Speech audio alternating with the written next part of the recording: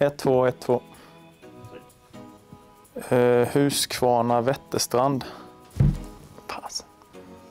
Kinnarps Arena. Eh, Vättern. Eh, Stjärna. Stjärna är, eh, har alltid nått i görningen och eh, en väldigt rolig prick som, eh, som jag tror det händer rätt mycket roligt eh, om, runt omkring. Eh, för små. Eh,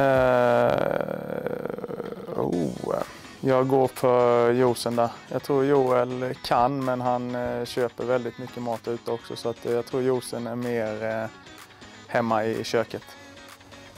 En kuggfråga. Eh, Smålandsderby. Nej, men det brukar alltid vara härlig stämning och roliga matcher och mycket folk.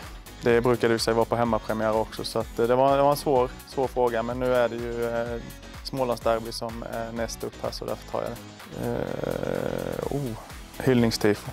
Nej men det är väl alltid roligt att eh, få hylla personer som eh, har gjort något bra eh, och det brukar vara eh, härligt med känslor inblandat. Oh. Kanelbulle med saffran kanske? Nej, kanelbulle. Mm, mm, mm. Innebandy.